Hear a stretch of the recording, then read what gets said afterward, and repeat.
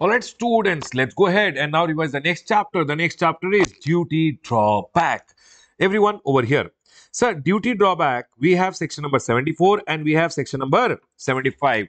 They go ahead and say duty drawback on re-export of duty paid goods. So, sir, supposingly, I have gone ahead and imported this bottle. I have gone ahead and paid the duty on this bottle. Baba, any duty which I have gone ahead and paid. Baba, custom duty can be basic custom duty, social welfare surcharge, CVD which is there, sir, IGST which is there, GST compensation cess which is there, all the duties of custom which you have gone ahead and paid. If I go ahead and import this bottle, I paid the duty. Now I export this bottle, whatever duties I have paid, I will get duty drawback. So we are going to understand now. Section number 74 says duty drawback on re-export of the duty paid goods. So you imported something, you paid the duty on those goods. Now you are going in and exporting those goods. Whatever duty you have paid, because you have changed the destination of the goods, Indian government says whatever taxes, whatever duties you have paid on those goods, we will give it back to you and that is known as duty drawback. So let's go ahead and start with section number 74 now. Section number 74 is section number 74 1 and section number 74 2. Section number 74 1 goes ahead and says, Sir, export as such. So I went ahead and bought this bottle from outside India. I did not go ahead and use it at all. I went ahead and exported it outside India. Then they are going ahead and telling, if you go ahead and export it as normal export, might be as cargo, or you export it as baggage, or you export by post, 98% of the duties which you have paid will be given as duty drawback. Then section number 74 2 goes ahead and says if you go ahead and might be imported this bottle, used it for some time and then you export, you will get duty drawback which is little reduced amount. And hence they have gone ahead and told export after use. Sir, how the duty drawback will be given? That is told by a notification, notification number 19 but 1965. In that notification, they have gone ahead and done three categories which are there. Number one, when no duty drawback will be given. Number two, motor car, if anyone is going ahead and using and he re-exports means imported and then exported. What is the duty drawback that will be given? Or goods imported by an individual for personal or private use then what will be the duty drawback? Any other goods. For an example i went and imported a projector for my personal use. Then baba remember i will come over here. But if i imported a projector might be for my office use then it will come over here. But car ka case mein remember whether anyone who import business use non business use personal uh, individual company, whatever it is, motor car always comes in the second category. Now, there are some items which you go ahead and import and use and export, then you will not get any duty drawback, which is wearing apparel. Sir, wearing apparel, if you go ahead and import, you use it for some time and then you are exporting, no duty drawback. Sir, T-chest which is there, T-chest ka case may also no duty drawback after use. Exposed cinematographic film, this always movie films which come into India, you saw the movie and now you are telling you want to export it after use, no duty drawback. The next one, unexposed photographic film, might be paper, plates, X-ray films, etc. After use, if you want to go ahead and export, no duty drawback, absolutely zero. But sir, what if I export this without use, then Baba, remember, without use, then as such if you go ahead and export 98% duty drawback is there. But after use there is no duty drawback. Then sir motor car by anyone or goods imported by individual for personal or private use then whatever is the 100% i will go ahead and say is the duty paid means whatever duty paid considered to be 100% now they will go ahead and reduce and give you you have to find out the percentage and that much percentage will be given as duty drawback. So they are going in and telling whatever the import duty you have paid, supposingly I go ahead and say that is 100% duty. Out of that, they are telling 4% for the first year per quarter or part thereof, reduction will be done. Sir, 16% for the first year. Second year, if you are going in and re-exporting it, then they are going in and telling 3% per quarter or part thereof. Then it will be 12%. Third year, 2.5% 10% per annum and fourth year ke liye it is 2% per annum 2% per quarter so it is 8% per annum and hence whatever is the reduced percentage that much amount of duty drawback will be given. So for an example if i go ahead and re-export my motor car after 3 quarters sir from the date of import i exported after 3 quarter then 3 quarters ke liye 4% into 3 12% is gone 100% is 12% gone 88% ka duty drawback will be given. But remember one thing, duty drawback is only after two years will only be given if CBIC extend the time limit. Otherwise, after two years, whenever you go ahead and export, there is no duty drawback, absolutely nothing. Okay, sir, point is clear. They have given the percentages, but after two years, you will be given duty drawback only if CBIC extends the time period. Now, sir, all other goods ka case mein, so supposingly I imported a laptop for my personal use, then it comes in second category. But if I imported a laptop, might be for official use, then it will come in the third category. So, sir, here, based on your period of usage, duty drawback will be given. If you have gone ahead and imported an article and you have used it up to 3 months, then 15 95% duty drawback will be given. Sir, greater than 3 months up to 6 months, then 85% duty drawback. Greater than 6 months up to 9 months, 75%. Greater than 9 months up to 12 months, 70%. Greater than 12 months up to 15 months, 65%. Greater than 15 months up to 18 months, 60%. And greater than 18 months, it is nil. So, sir, how do we remember? You can remember 9, 5. First of all, 3 months, 3 months ka gap is there always. Sir, then reduction will be 10%, then again reduction will be 10%, then reduction will be 5, then reduction will be 5, then reduction will be 5 and then 0. So, sir, my number is 95101055550. Baba, this is not my number. Don't call nothing, but save in your phone duty drawback ka number 9510 9510 reduce again 10 reduce then reduce 555 and then you get 0 Done, sir. Point is clear. So, sir, I went ahead and told you over here. Section number 74 may section number 74 1 goes ahead and says when you have imported something and you have exported as such, then duty drawback will be given 98%. Sir, I imported something. I went ahead and used it for some time and then exported first category over here wearing apparels etc may no duty drawback motor car or any import which is done by an individual for personal use then 4% reduction first year per quarter of part thereof second year 3%, third year 2.5, fourth year 2% per quarter or part thereof. Sir, third category may if you are falling all other goods which are not motor motor car or if it is not individual car individual who has imported for personal or private use. Other than that, all the goods 95, 10, 10, 555 and 0. Done, sir. Point is clear. Sir, here there are always some condition under section number 74 which they have told. Goods will be always identified by the AC or DC as the goods which are imported. Because only what you have imported, you have to go ahead and export. So, AC, DC will always go ahead and verify what you had imported, only you are going ahead and exporting. Secondly, goods should be entered for export within two years from the date of payment of duty on importation. When you imported, you paid the duty. Let export order came from the date of payment, late export order should be within two years for the purpose of export or extension only can be given by the CBIC. Sir, no requirement to realize foreign currency, minimum valuation criteria, etc. is no there. So it's saying no requirement to realize foreign currency or no requirement means minimum valuation criteria, etc. is not there. Now, section number 75 comes. What is section number 75 going ahead and telling? You entered and imported some item from outside India might be cloth. Out of the cloth, you made final product and now final product when you are going in and exporting, remember one thing, you will be given duty drawback under section number 75. But section number 75 may, the people who are going in and exporting, they get duty drawback of the custom duty might be you imported raw material. When you imported the raw material, you paid some custom duty. You went ahead and paid some social welfare surcharge and you paid GST also. Baba, GST too, you have to take input tax credit. But basic custom duty, social welfare surcharge, all the duties which you have paid on the goods which you have manufactured, all those duties ka duty drawback is given under section number 75. In IGST which is paid, you have to take input tax credit. Because a person, Baba, who is claiming duty drawback under section number 75 is basically a manufacturer. And if you are manufacturing and exporting, Baba, exporters are always interstate supplier and you will always be registered under GST. So, IGST ka to, you have to take credit only. GST compensation cess also you have to take the credit. All other duties which you have gone ahead and paid while manufacturing those goods, those duties ka you will be given duty drawback under section number 75. Done, sir. Duty drawback on imported material which you have used in manufacturing of the exported goods. The goods are imported, import duty is paid, used in the manufacturing of the goods, and now new product is being exported. Section number 74 was basically for traders who imported something and sold the same thing outside India. There is no value addition etc. done in India. Section number 75 is you bought raw material, cleared in India, out of the raw material you made the final product and final product is exported. Then Baba, they are telling whatever duties etc. was paid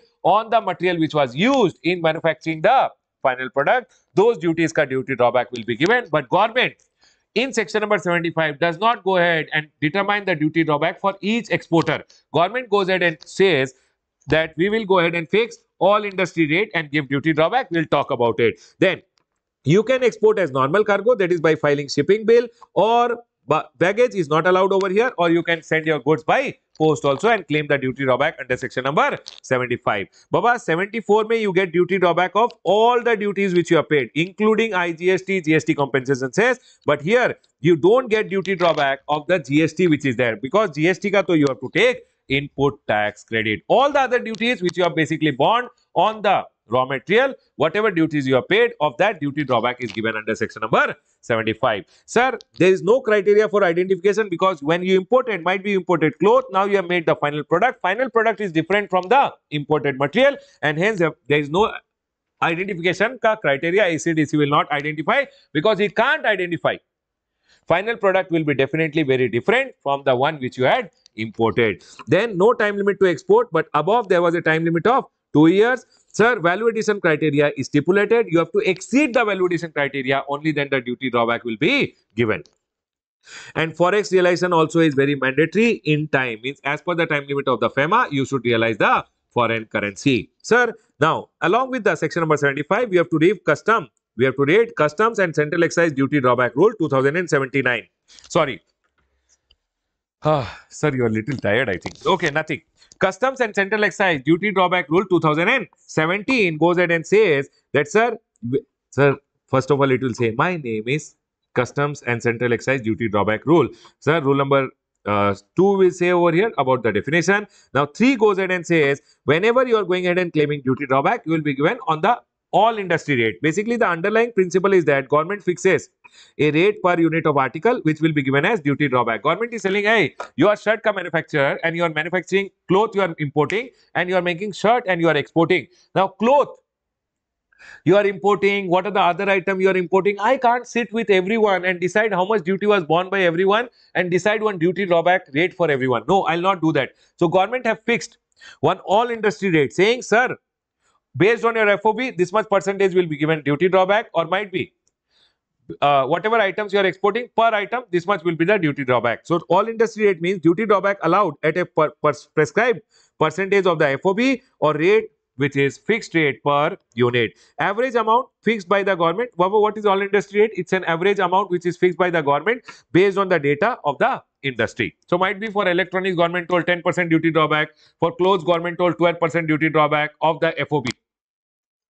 Done. So this is all industry rate. The next one is brand rate. Rule number 6 goes ahead and talks about brand rate which is there. If all industry rate is not fixed for a product, might be my product which I am exporting. Sir, all industry rate is not there. Then go to the government and apply to the principal commissioner or commissioner of custom within 3 months from the late export order because you are exporting from the late export order within 3 months you have to apply for a fixation of duty drawback. And Baba, when you are going ahead and applying for a all because your case may all industry rate is not there, so you have to go ahead and apply for brand rate. He will give you a brand rate, and then you will go ahead and apply for a uh, duty drawback. Right. So it will it is going to take time. So you can go ahead and ask for provisional duty drawback. Whenever you are given provisional duty drawback, that is always based on bond plus a security which is there. Done, sir. Rule number 7 goes ahead and says, if all industry rate, supposingly by applying the all industry rate, you are getting the duty drawback, which is less than 80% of the duties, which are actually actual taxes and duties on input. Might be I paid 100 rupees on uh, duty on my uh, inputs which are there, but I am getting duty drawback only 70 rupees. Then they are telling you can apply for a special brand rate if you are getting less than 80% by applying the all industry rate you see that you are getting less than 80% of the actual duties paid on inputs. As duty drawback then you can apply for a special brand rate. Exporter can apply to the principal commissioner or commissioner of custom within 3 months from from what date? From the late export order for the application for fixation of special brand rate. Baba when special brand rate will be fixed then you will apply for duty drawback then it will be given. It is going to take time. So in the meanwhile provisional duty drawback may be provided based on you have to give a bond plus a security also. Done, sir. Sir, if I don't go ahead and apply within three months for fixation, if I don't go ahead and apply within three months of late export order, then the extension of time limit can be given under for rule number six and rule number seven.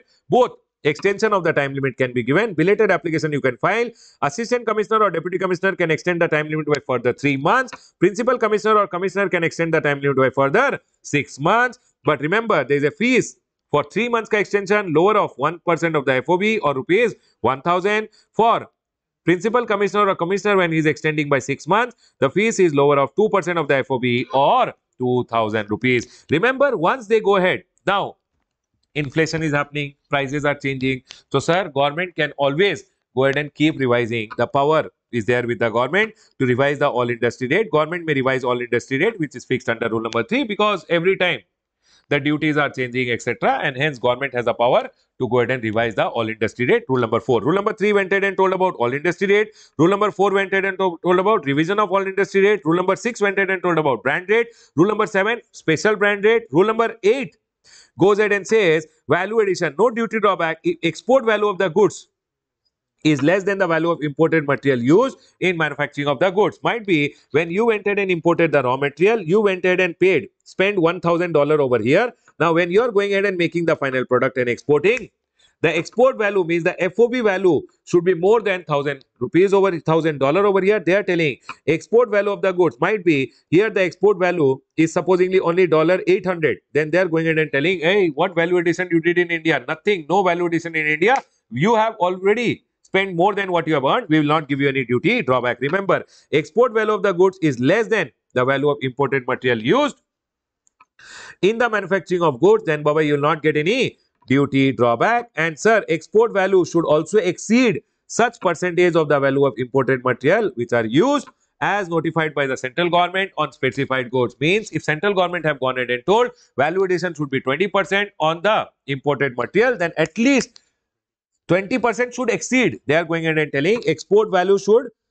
exceed. If it does not exceed such percentage of the value of imported material used, then Baba, you will not be given any duty drawback it should exceed the percentage which has been specified by the government. One more point which I have written, some important point over here, important note, no duty drawback if goods are manufactured out of duty-free import. Hey, you got imports on which duty only not paid, what duty drawback you will get? You will not get any duty drawback. Secondly, sir, whenever you are, if Exporter has filed for duty drawback under all industry rate. You applied for a duty drawback under all industry rate and you are also telling I want special brand rate. Not possible. Both the hands, laddus can't be there. They are telling if exporter filed for duty drawback under all industry rate, he cannot request for fixation of special brand rate. Baba, if you are applying for special brand rate, you can take provisional duty drawback, but you can't take all industry rate under duty drawback and then also apply for special brand rate. Not possible, not allowed. The next one over here is rule number 9 over here. Sir, upper limit of duty drawback. Upper limit means, means the maximum duty drawback you will get is one third of the market price of the exported product. Sir, supposingly, if the market price of a product, okay, they went ahead and told the FOB value is supposedly 1 lakh rupees and you are getting duty drawback a percentage is 30%. 30% means how much duty drawback you are getting? 30,000 rupees. Okay? The FOB value is 1 lakh 30% is the duty drawback, you are getting 30,000 rupees. The market price of the goods is supposedly only 60,000 rupees is the market price. They are telling the maximum duty drawback can be one third. One third is what? So maximum duty drawback you will get is only 20,000 rupees. The market price ka one third value. Otherwise, people will keep inflating the FOB value and people will keep inflating the FOB value and get more duty drawback. So government went ahead and told we are fixing the upper limit. The upper limit is whatever is the domestic market price the wholesale market price of those goods in the domestic market of that one third will the maximum duty drawback so 30000 or 20000 you will get a duty drawback of only 20000 rupees done sir on the right hand side, I have gone ahead and told the difference between duty drawback under section number 74 and 75. Sir, when is it admissible? Imported goods are exported as such or after use. Then 74 ka duty drawback. 75 ka duty drawback. Imported goods are used in manufacturing of goods which are exported. Imported materials are used in manufacturing the goods which are being exported. It is exported as cargo, post or baggage. All the three are okay. Here it can be exported as cargo or post. Baggage is not allowed. Time limit to export is generally 2 year. Here there is no time limit. Identity, identification of the goods 74 May identification can be done by the ACDC but 75 May identification criteria is not there. 74 May value addition criteria is not there because what you are importing only you are going and exporting. 75 May you have to do value addition. Value addition criteria, criteria has been specified and only if you exceed the value addition criteria the duty drawback will be given. The next one over here is section number 75A. Remember section number 75A is applicable for section number 74 and section number 75. Interest on duty drawback. Very, very important from exam point of view. If duty drawback under 74 and 75 is not paid within one month of submission of claim, You submitted your claim, one month payment is not given, then you will get after one month, whatever the time period is there, you will get interest at the rate of 6% shall be paid from the date after the expiry of one month till the date of payment. So, sir, date to date you see one month. Once the one month expired, from the next day you will get interest at the rate of 6%. Sir, if DBK is paid erroneously, might be you did not get the foreign currency or might be or becomes recoverable. When does it become recoverable? If you don't recover the foreign currency within time, then they are going and telling if supposedly you took some DBK erroneously or any DBK became recoverable, then it shall be demanded and if not paid within two months, recovery will start. So, so remember one thing, supposingly there was an erroneous DBK which was given. Then they are telling they will go ahead and demand from you and once the demand order is given within the next two months, after the two months, they will start what everyone? Recovery. Done, sir. This is point is clear. But listen to me very carefully. Erroneous refund. If erroneous duty drawback was given, you paid back over here.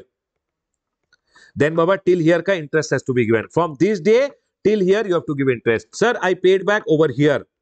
You paid back over here from here, from the date of erroneous refund till the paid back, you have to give interest. Sir, they recovered from you over here. Recovered. Array, whenever it is recovered or paid back from the date of erroneous refund, you have to pay the interest. Baba, sometimes students get confused that sir, interest will start from the date of demand, two months recovery period after that interest. No, Baba, no. They are telling, sir, erroneous refund will be demanded. And if you don't pay within two months, then recovery will start. This is a separate thing. Separately also they have told interest at the rate 15% is payable from the date of payment, the day they had paid it to you till the date of recovery of duty drawback or till the date it is paid back. Whenever you paid back or whenever it is recovered from you till that date from the date of erroneous duty drawback till the date you paid back you have to pay interest at the rate of 15%. The next one over here is section number 76 over here prohibition and regulation of duty drawback in certain cases. Sir, Government says no duty drawback shall be allowed if the market price of the goods is less than the duty drawback. For an example, there is one iPhone over here which is a very little old iPhone. On that iPhone, I had gone ahead and bought that iPhone from outside India for 1 lakh rupees and on importation I paid 20,000 ka duty over here or I will go ahead and take simple supposingly 10,000 ka duty over here. Okay. Now, if I'm going ahead and exporting as such without use only, then I will get 9,800 duty drawback over here. But you know what? This iPhone, if I'm selling in India, not even in 5,000 people are buying. So, they are going ahead and telling if the market price of the goods is less than the duty drawback, government is telling, hey, you think I'm a fool? Market price is 5,000. You are trying to take duty drawback of 9,800. No duty drawback at all. No duty drawback shall be given and duty drawback will not be given if the amount is less than 50 rupees. Duty drawback, no duty drawback if central government is of the opinion that goods are likely to be smuggled back. For an example, when you were getting the goods into India, you were trying to smuggle it and you were caught and hence at the custom port you landed up paying 10 lakh as the duty. Now you are telling sir I want to go ahead and export the goods from India outs outside India. Please give me 98% duty drawback means 9.8 lakh duty drawback you give it to me because I am going to send it outside India. Government knows that you are going to smuggle it back into India and hence they will not go ahead and give you the duty drawback. Done sir. Point is clear over here. Section number 7. This chapter this chapter from exam point of view. What kind of a chapter it is everyone? Sir this chapter from exam point of view for your ex november exam it is an a graded chapter. For may 24 students anyway this chapter has been excluded. okay sir? Point is clear. A graded chapter i feel three marks ka one small question can come. This point which is there no this is very very important. Other than that section number 75 is also very important. Section number 76 is also important. Our rule number 9 and rule number 8 is also used as question sometime. So please be very careful and solve some questions and then go for the exam. Done sir, point is clear. I'll go ahead and close my revision on the chapter of duty drawback. Done.